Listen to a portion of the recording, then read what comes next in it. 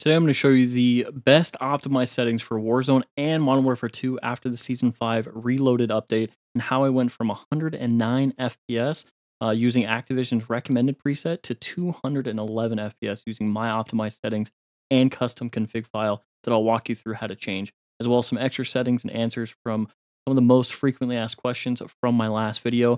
Uh, just very, very briefly, I want to say thank you so much for all the support. Um, our last video are, uh, got almost 100,000 views at this point, um, and gained almost a thousand subscribers. So just thank you guys so so much. Uh, please, if this video helps you, uh, subscribe, drop a like, drop a comment if you have any questions or anything like that. Uh, anything like that helps so much with the algorithm pushing the video forward. But without uh, any more time, we'll go ahead and get right into it. So the first thing a lot of people are going to want to do is run a benchmark on the on the game. So once you launch it, if you have the full version of Modern Warfare 2, uh, since they changed where the location is, I'll show you that very, very quickly. Uh, you're going to go on ahead and scroll down until you find the Modern Warfare 2 multiplayer tab. You'll want to click on that to get into the, the, the menu that you can find the benchmark in. So once you get in here, you're going to scroll all the way down to the bottom. Uh, and that's where you'll find the benchmark tab. So once you get in here, you can run a benchmark beforehand if you have the full game um, and see exactly what your before numbers were. If you don't have the full game, unfortunately, you can't run the benchmark. Uh, but these settings will still apply and still give you the best uh, FPS for you. Uh, so we'll go ahead and get into the settings here. You're going to hit the settings menu, go into graphics. First thing we're going to be hit with is the display menu. Uh, from here, you're going to want to go ahead and have full screen exclusive. Me personally, I run on full screen borderless. Uh, shameless plug, I am a full time streamer uh, on Twitch. I, I, stream Monday through Friday on Twitch, most most Monday through Fridays. Um, so if you want to follow me in there, feel free to. But I run on full screen borderless when I'm streaming uh, mainly because I tab in and out all the time um, and full screen exclusive. It just kind of makes that a pain. Uh, but for the most FPS, you definitely want to have that on full screen exclusive. But for now, I'm going to leave it on borderless. Uh, display monitor, same thing. Uh, I'm going to kind of go through these settings really, really quickly. Um, just try and make sure the video isn't 25, 30 minutes long like it was last time. Um, and just kind of be more concise with things. So uh, display monitor, these should all be on default. Your your gaming monitor, your GPU, refresh rate should be max, resolution should be whatever your default resolution is. I'm on 1440p, so that's what mine is. Uh, this setting, I will explain just very briefly. Uh, dynamic resolution, if you're really, really struggling to get FPS, um, I'm saying like 30, 40, 50 FPS. Dynamic resolution can help with that uh, by lowering the actual uh, resolution that it's rendering. Um, so you'll you'll get more FPS. You'll maintain a, it will try to maintain a certain FPS that you set, uh, but in in turn, it's going to lower your re- uh, render resolution, so the game's going to look pretty bad. But if you're really struggling with FPS, you might want to try turning that on, see how you like it. Uh, but for most people, I recommend turning that off. Aspect ratio should be on automatic. VSync should definitely be off on both of these. Uh, custom frame rates, you definitely want to have this on unlimited, especially while you're doing the benchmark. Um, eco mode's a new a new setting. I just leave it on minimal because it only affects uh, in the menus, it doesn't affect in game, so minimal's fine. You can turn it off if you want. Um, and then brightness is pretty much just a uh, personal preference. I run mine at 55 because that's what my monitor seems to uh, look best at. And then gamma should be at 2.2 if you're on a monitor. I think 2.4 is for um, TVs, but if you're on a monitor, should be on 2.2. Uh, so that should be everything on the display tab. We're going to apply those settings and then go to quality. Uh, from here, we're going to go ahead and turn this to off and hit apply. Uh, and then for the quality presets, we're going to set this to minimum just to get uh, pretty much all the settings where they need to be already. Um, next one underneath that's going to be render resolution. We're going to want to make sure that this is set to 100. Um, I forgot to mention that in my last video, so I put a pin comment on it. Uh, but make sure your render resolution is at 100 so you're getting the full native display of your, of your monitor. Um, for upscale and sharpening, you'll lose a little bit of FPS, uh, but I think it's 100% worth it by going to Fidelity FX CAS. This video is going to be settings to maximize FPS while also maximizing uh, visibility and clarity.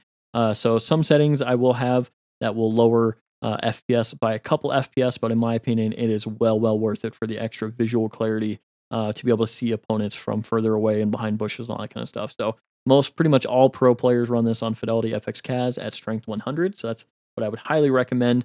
Um, briefly, I'll touch on if you're looking for maximum FPS, you can definitely run DLSS, but it's kind of like um, that setting we were talking about earlier, uh, where it's going to lower your render resolution, um, and it's just going to make the game look a little bit blurrier. You definitely, by by all means, will get a, way more FPS, uh, but the game's just not going to look nearly as clear. It's going to be a lot harder to see enemies, um, and this is just kind of a case by case basis. But like I said, for most people that enjoy playing the game at a, a more than competitive level, uh, Fidelity FX CAS is by far where you want to be. Uh, anti-aliasing, I recommend running on Filmic. Uh, you'll lose a little bit FPS, but again, when it comes to clarity, I think Filmic is the best option. If you're looking for raw FPS, um, regular uh, non-Filmic will work as well. Uh, you want to set this to low. Some people can run it on normal, like if you're on 1080p, normal will be a little bit better to smooth out jagged edges and stuff like that, so you don't see like the flickering. Um, you won't lose that much FPS. I think it's like three or four FPS, so it's not too bad. Uh, but I'm on 1440p and low looks perfectly fine for me. Uh, video memory scale, I'd probably recommend leaving this on default. I know from my personal system because I have 12 gigs of VRAM, I can run on 65, uh, but I would just recommend for most people just running it on default, um, and you should be fine. Unless you have a really, really low end card that only has like four gigs of VRAM, then you might want to raise this to like 90. Um, but for most people, 80, 85 should be perfectly fine. Uh, the rest of these settings we're going to kind of blow through a little bit. You can just pause the video if I'm going a little too fast. Um, but they, they all should be default since we all started with the minimum preset. Uh, one setting I would probably recommend changing um, is the distant level detail, setting it to high. Um, you'll see a little bit more uh, objects at a distance, a little bit more clear. So sometimes bushes, you can see through them better at a distance and that kind of stuff. Uh, you will lose a little bit of FPS, but again, in my opinion, it's worth the visual clarity for that tiny little FPS drop. Um, Again, all these settings should be pretty much set to the, the lowest they can go. Some of these settings we will have to turn off, like persistent damage layers, texture streaming, you might need to turn that off as well. Uh, make sure all these are set to their lowest option. Streaming quality, you'll probably need to set that to low. Default on the water. And then the other setting that we want to talk about is the spot cache. Uh, I run this on Ultra on any system that has a decent amount of VRAM. I'd say anything above six uh, gigabytes of VRAM, I'd run on ultra. Anything lower than that, I'd run on high or maybe medium.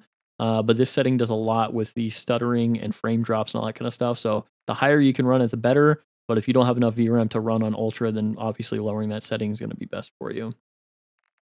Uh, another setting we want to turn lower is the weather grid volumes. Turn that to off. Uh, NVIDIA Reflex Low Latency, put that to on and boosted. I found in pretty much every situation, at least in Warzone 2, uh, most people are going to be CPU bound. Uh, so on and boosted is going to be the best option for you. Um, you can try on if you'd like, but on and boosted I found to be the best for most people. Um, depth of field, motion blur on both of them should all be off. Film grain should be off. So just to briefly show these settings again, if you want to pause, because I'm going too fast, feel free to pause and write these down or have the video playing in the background while you change them yourself. But those should be all the settings there. We're going to go ahead and hit apply on those settings and then go to the view tab. Uh, field of view is personal preference. I'm on a 27 inch 1440p monitor. So I'm going to run mine on 120. Uh, most people run this between 95 and 120, so somewhere in there should be great. Um, I also recommend running on affected to make sure that you're lowering your visual recoil when you have the higher FOV like that. Uh, weapon field of view and vehicle field of view I have on wide, as well as third person field of view I have on 70 to help uh, be able to ping targets when you're flying in the air, um, when you're parachuting. Uh, these settings are actually super important that a lot of people miss, and it's actually on console as well. Um, but changing your first person camera movement, which is essentially how much your screen shakes throughout the match, uh, defaults at 100. Make sure you set that to 50 on both of those. So you definitely want to have that there. Uh, one other quick setting I'm going to touch on for Steam users. I'm a, I'm Steam user myself, but if you have the game on Steam, in the audio section for whatever reason, uh, if you have all lobby on for your proximity chat, you'll actually be losing some FPS. It's a little bit better in this update. Um, I've only losing about 10 FPS, uh, but before I used to lose like 30. So changing it to friends only, you'll actually gain a little bit FPS if you're on Steam. If you're on BattleNet, you don't have an issue at all. You're going to get 100% your frames on all lobby. So that just a quick little note there. Uh, but that should be all the in-game settings that I recommend. So we're going to go ahead and close the game and get right into the config file changes, uh, which is the, the the settings everyone's looking for. So we'll go ahead and get right into it. A lot of these settings are pretty much the exact same from my last video, uh, but I've done a little bit more um, to delve into exactly uh, what they are uh, and a, a, few more configurations. So you're going to open up your file folder and go into your documents tab. From here, you're going to double click on your Call of Duty folder, double click on players, and then you'll see the options.3.cod22.cst. If you have it on BattleNet, I believe, this will say options.3.codhq.cst, I believe. Um, it's just you want the one that doesn't have BR, CP, DMZ, MP, SMP, all that kind of stuff. Um, so you definitely want to have the options.3.cod22 CST. Uh, we're going to go ahead and right click on it and we're going to open with, and we're going to open it with Notepad. So you're going to click on Notepad, or if you don't see Notepad here, hit more apps and find Notepad in the Microsoft Store. Uh, and then use uh, this app to open up CST files. Hit OK. This is going to open it up. One question I did have, and I'm going to run through this really quickly, um, is if you want to save your settings um, just so you have a backup or whatever the case may be. Uh, some people didn't like the idea of deleting the folder altogether, even though when you delete the folder, uh, it, it comes back once you launch the game. Uh, it just comes back at a defaulted uh, settings, but you can go ahead and hit edit and hit select all. It will select everything. We're going to go ahead and copy all of the data in here.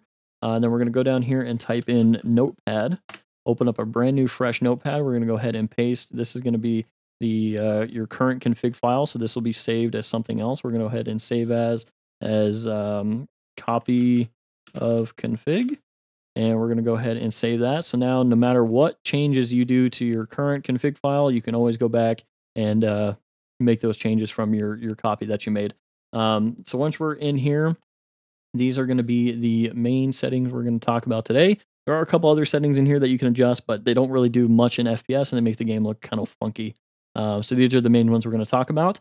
Uh, the first one is going to be clutter max distance. We're going to go ahead and change that one. So we're going to scroll down uh, a little bit of the ways until you see the graphics here, and it's just going to be under graphics. Uh, we're going to look and see the clutter max distance. By default on low, it's set to 2500. We're just going to go ahead and copy the lowest value, which is 100. So we're going to highlight and copy, and we're going to replace inside of the quotation marks that 2500 with 100. So we're going to go ahead and paste, and you'll see that those values match inside of the quotation marks there. Uh, the next setting is going to be the corpses culling threshold, and that setting is directly underneath the one we just changed. So we're going to go ahead and do the same thing. We're going to highlight and copy the lowest value that's available and paste it into the uh, quotation marks there. The third setting we're going to change is the sun shadow cascade. Uh, that one's going to be a little bit further down. This should be pretty much in alphabetical order, so you should be able to find it uh, through alphabetical order like that. Um, I think I passed it real quick. Yep, here we are. Sorry. Uh, Sun Shadow Cascade uh, by default is set to high, and there's no in-game setting to change that. So we're going to go ahead and copy the low option. You're going to go inside of this bracket, highlight the word low all the way to inside of the comma, all the way that cascade. So we're going to go ahead, highlight and copy that, and replace that in there. So we're going to go ahead and paste so that that matches right there. Um, and the second to last setting is going to be the texture filter, which is two underneath that. By default, when it's set to low, is on anisotropic 2x. We're actually going to want to change that to linear. We're going to go ahead and copy, highlight and copy the linear option and replace inside the quotation marks, just like we've done everywhere else. Make sure you do not choose the nearest option. Nearest uh, will make your game look like Play-Doh. So make sure you choose linear as the lowest option you choose uh, for the best FPS gains and best visual clarity. So make sure that's on linear. And the last setting we're going to touch on is the one everyone wants to talk about is the renderer worker count. Um, so I went ahead and tested a few more configurations like people were asking me to. And all of the older Intel CPUs without efficiency cores, these are going to be the values you're going to want to input into this into the quotation marks here. Uh, the way to find out which which how many cores and how many threads you have you're going to go ahead and go to your uh, taskbar. You're going to right click and click Task Manager. Uh, from here, you're going to go ahead and click on the Performance tab and then click on the CPU tab. You may have to click more details down below uh, to get a full breakdown here, but you'll be able to see what CPU you have, um, as well as how many cores and how many processors and everything like that, which these are threads.